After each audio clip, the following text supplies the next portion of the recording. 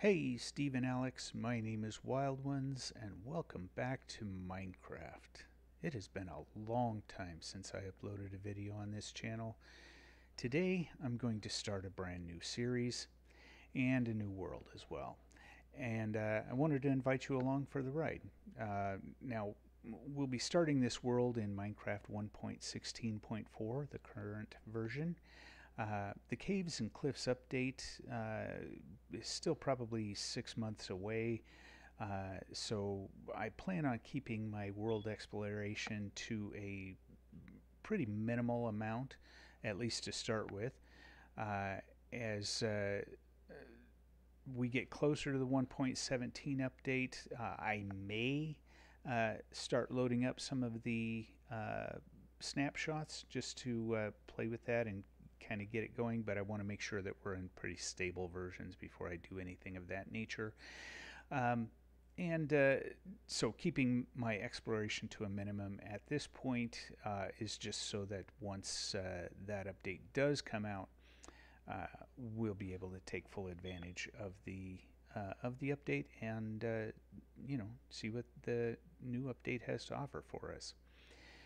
Um, now, for those of you who may have seen my previous videos, uh, i plan on making this series the way I had initially intended the Life in Blocks series to go, my very first series.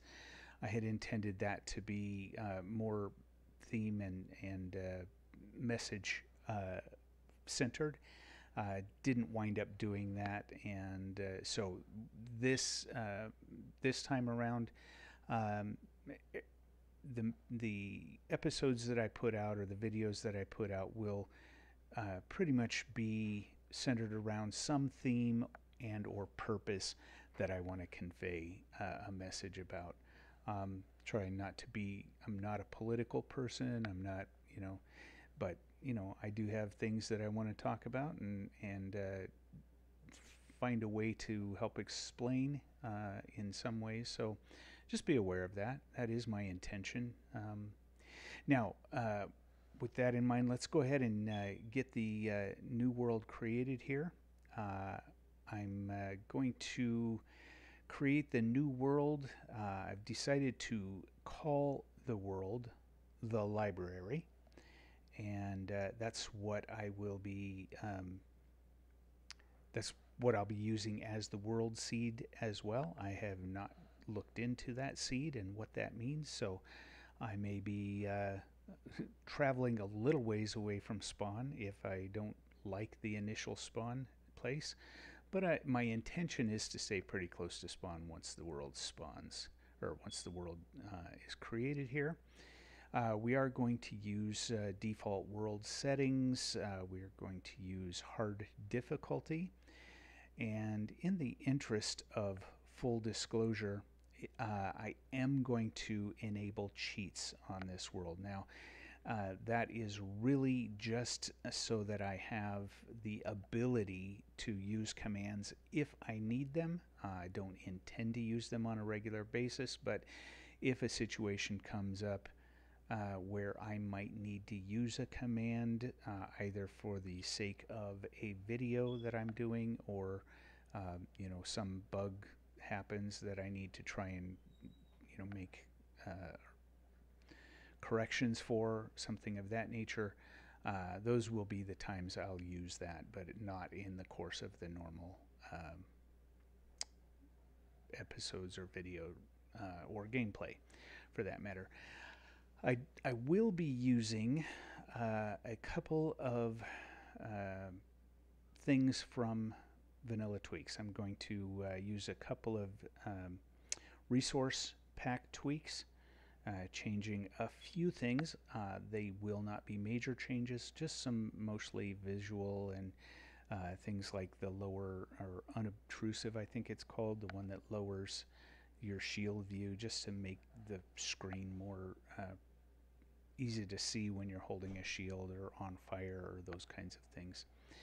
Uh, in addition to that, I do have a uh, few things that I want to add via a resource pack. I'm also getting all of those things from Vanilla Tweaks, and both of those I will link in the uh, description of this video so uh, that if you decide to play along or use those uh, things as well, you're welcome to do so, and you can use exactly the same thing I'm doing, but uh, certainly up to you. All right, so uh, here we go. Thank you for joining me, and uh, let's get started.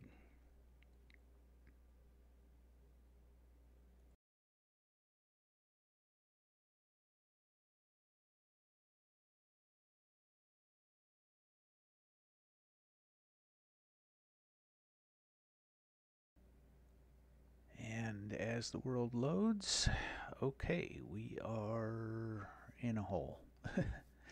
Let's see. Looks like I've got a plains, maybe? Plains biome next to a swamp and a dark oak wood forest. Yeah, I've got looks like a lone tree up here in the in the plains. Um, um, looks like maybe a cave down there. We'll check that out later. Uh, lots of animals around, and we've got some bees. That's pretty cool. Uh, I don't know that I want to take down that tree there with the uh, bees in it. Uh, and it's also one of those tall trees, so I don't really want to do that uh, as well. Pain to get. So let me uh, come over here to the uh, forest and get some wood from here to get started. Uh, now, while I am uh, punching down some trees here, uh, uh, I, have recorded something audio track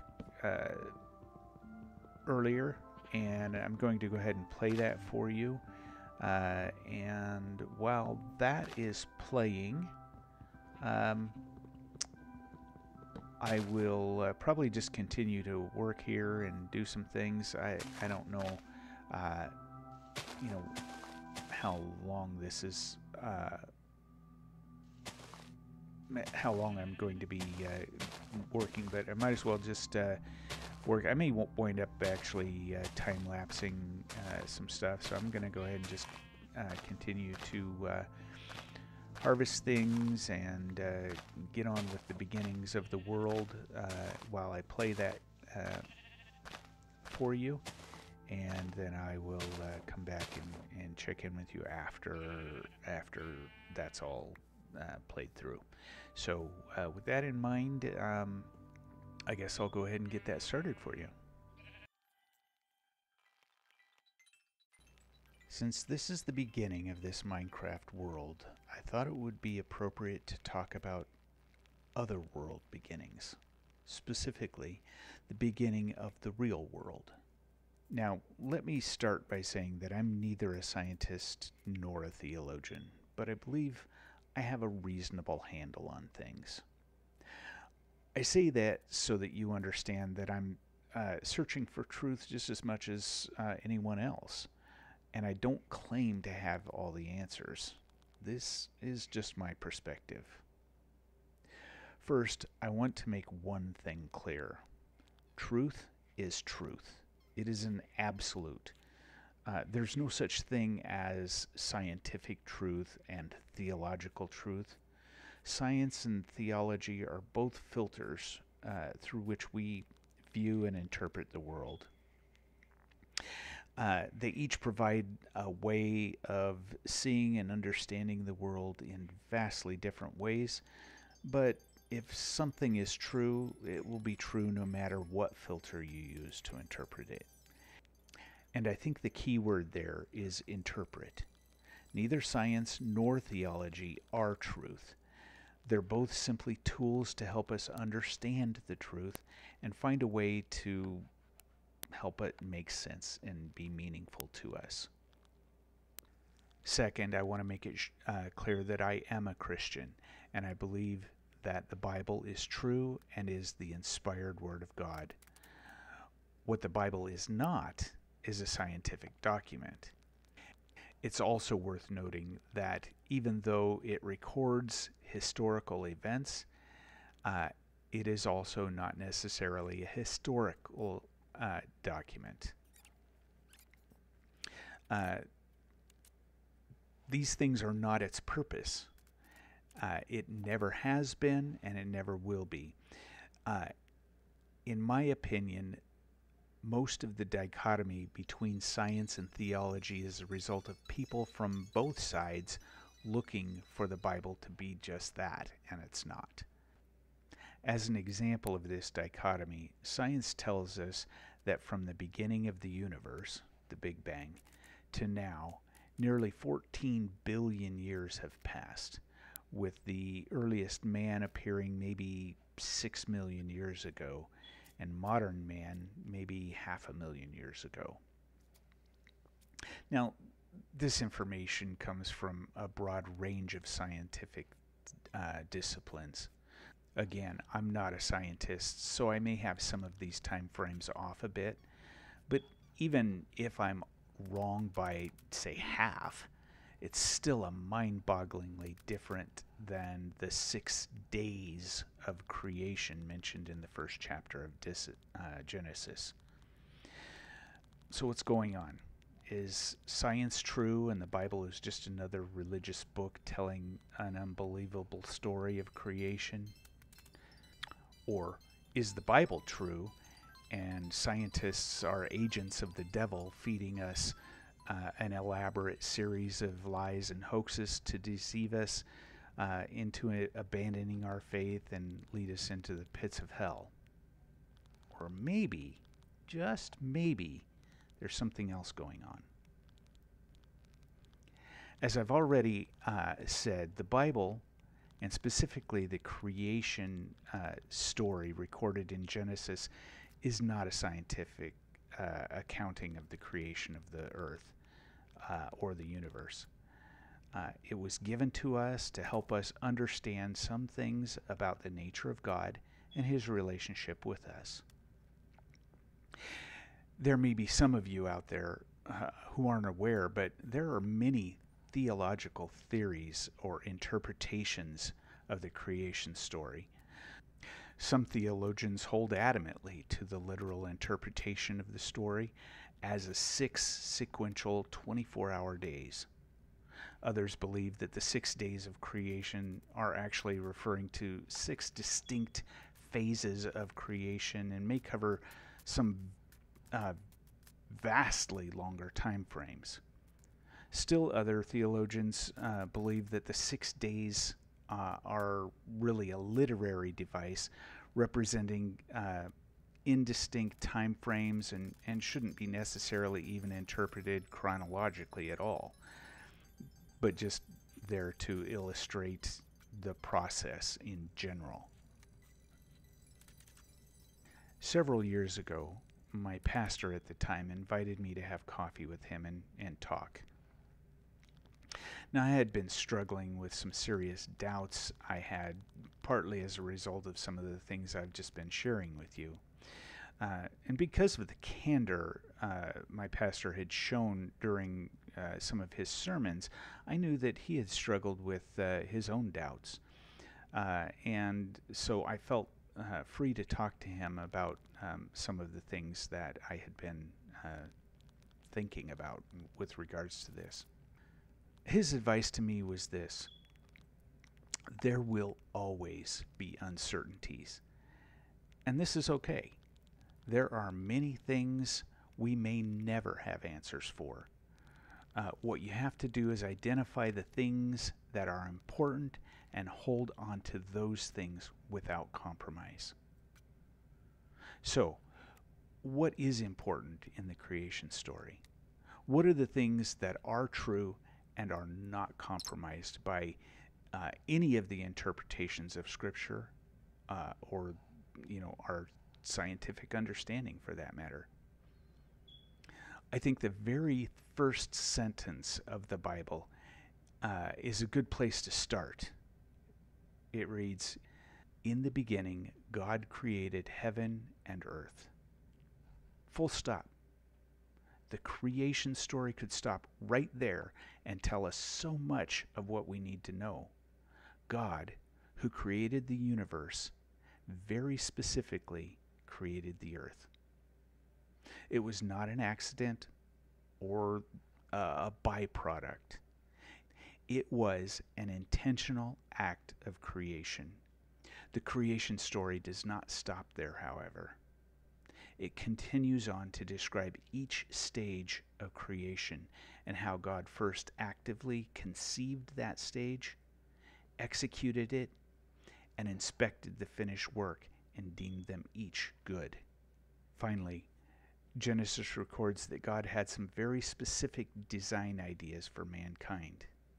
As recorded in Genesis 1, verse 26, then God said, let us make humans in our image, in our likeness. God had already made all of the other animals, but with humans, He wanted us to be a reflection of Himself. These are the things that matter, the things that are universal in all the theological interpretations of the creation story. God created the universe and the earth with specific intent he painstakingly set up the world's ecosystem to be able to support us and created us with love and purpose. While many scientists may claim uh, that it was all just a lucky accident, science does not even come close to disproving that the work of creation was done by a present and loving God. All right, and there we go. Uh, as you may have uh, seen in the course of uh, that time lapse, I was able to get some materials together and create a book and quill, which is an important part of the plans for this series. Uh, I uh, do intend to uh, create a new written book for each section we do and compile a library, as the name of this series implies, the library. Uh, that is kind of the overall idea for this series. I haven't built the library yet, obviously. Uh, you have seen uh, essentially all the footage for everything I've done in this world so far. And I realized that the time lapse was pretty fast and furious. I hope it's not too choppy for you. I just wanted to uh, make sure that I had included everything in this beginning session. That was about an hour almost two hours worth of uh, material there that I condensed down into uh, what maybe eight minutes of, uh, of video. So it was pretty fast. I uh, hope it wasn't too distracting. And what you're seeing here is me compiling all of that, uh, the script from uh, that essay into this book here. And uh, when I when I get everything entered here, I am going to call this book uh, True Beginnings. Uh, and my intention here is to save all of the books that we create, put them in a library at some point of some sort. Uh, and if you guys are interested in uh, a world download uh, at some point in the future, I'm not going to do it anytime soon, but once I have something substantial to download, uh, you'll be able to uh, visit the library and, and see all the books that we've created. If not, I'll have them for my own reference. But at any rate, uh, I do appreciate you guys hanging out with me for a little while, uh, listening to what I have had to say there, and I would really appreciate your feedback. Uh, so if you've got any additional thoughts or any oppositional thoughts, I would be delighted to to read them love to get your feedback. Uh, let me know what you think. I have one request, and that is please do remain respectful of any comments. Uh, if I see comments that are disrespectful, I will remove them. Uh, but you know, if you guys have ideas or thoughts or comments, even if they are contradictory to mine, as long as you remain uh, respectful in sharing them, I am delighted to hear them. So please do that. I'd love to uh, get that uh, feedback. Kind of on a side note, there, uh, you may have seen in the uh, course of that time lapse, I did die once to that pillager patrol. I got a little cocky and was trying to dance around and see if I could get them to uh, shoot each other uh, and lost track of my own health and wound up dying. So, uh, not really what I intended to do, but uh, it's what happened, and you got it there in the process as well. So,